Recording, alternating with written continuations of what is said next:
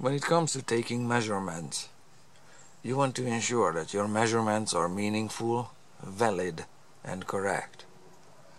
You want reliable measurements for your work. In this video, with this arbitrarily chosen bunch of instruments that measure temperature, length, and pressure, I will explain some of the most basic principles that affect all measurements. The first principle is the principle of finiteness or disconnectedness. You as a human being in front of the TV or computer are finite. Your existence and your being ends where your skin ends, at the boundary layer of your skin where you have your last sensors embedded and wired to your brain, that's where you end. Beyond that you have nothing. You are you and this piece of bolt is this piece of bolt. You have nothing in common. If you want to learn anything about the properties of this bolt, its length, its weight, its color, its reflectiveness, its material composition, its thread pitch, the kind of screwdriver it takes, its temperature. You're gonna have to go out there with measuring instruments and investigate. Information is not gonna leap across space and time and just appear in your head. Not going to happen. This would be the meaning of finiteness or disconnectedness. By definition, every measurement, when you go out to investigate, is a comparison. In terms of grammar, comparisons are made with adjectives, comparative forms of adjectives, and could involve the phrases faster than, slower than, more than, less than, hotter than, colder than, those kind of phrases. These comparisons are not do not involve necessarily quantities. You can measure without numbers. In fact, you do it on a daily basis. For example, you might say the sentence when you walk out there first thing in the morning, Ooh boy, it's nippy out here. You just made a comparison. The air's temperature is colder than expected. These, co these comparisons can be made by babies uh, without full use of language or without a knowledge of numbers.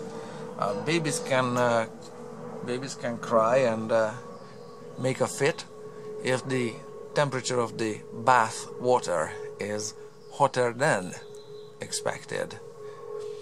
Animals hunting in packs, they can establish quantities. They can learn if they are outnumbered or not. And on this Garfield ruler I have this memory jogger, a cheetah chasing its prey. Can learn. Whether its prey is faster than themselves or slower than themselves a comparison and a measurement again taken by an animal. So all measurements are comparisons and all measurements are estimates. Whether it involves numbers or it doesn't involve numbers they are estimates and this is principle number three and in measurement you're working to reduce the degree of uncertainty.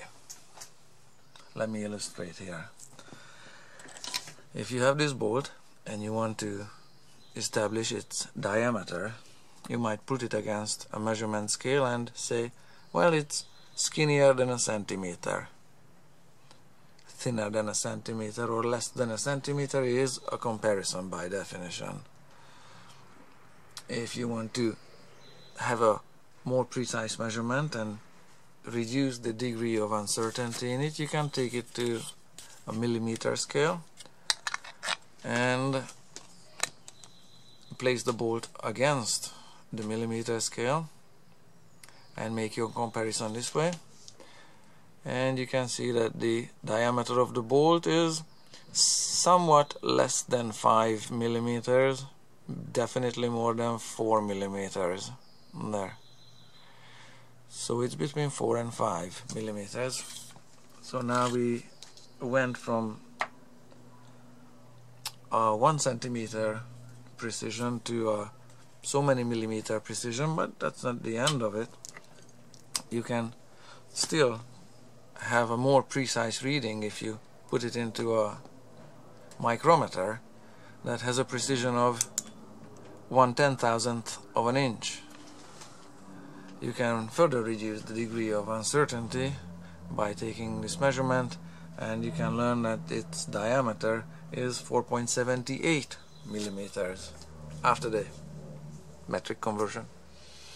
So any measurement is an estimate. Any measurement will have a degree of uncertainty to it because length as the property of matter for example intrinsic to this bolt is uh, really not possible to establish in terms of uh, in terms of absolutes. You are a finite human being.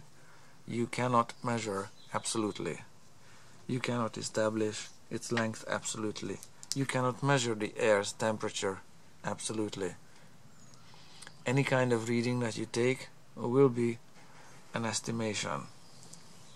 Okay, those are the basic principles, the three basic principles that affect measurements. Again, your finiteness and uh, that measurements are estimates and comparisons and that any measurement will still have with it a degree of uncertainty. In my next video I will show you how mathematics helps reduce this degree of uncertainty.